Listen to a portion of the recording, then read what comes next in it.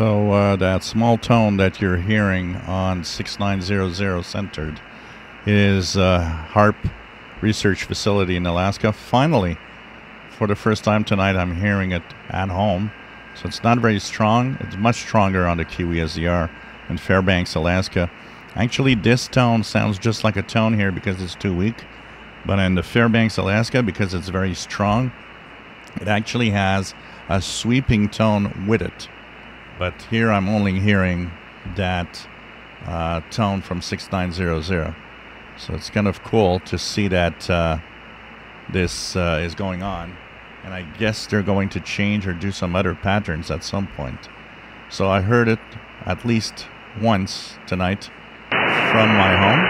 And they seem to have stopped on it. To see if there's any other frequencies with there's something there. I think it's still there. But uh, we're going to try to uh, find any other patterns or anything. But there's definitely still something there on 6900.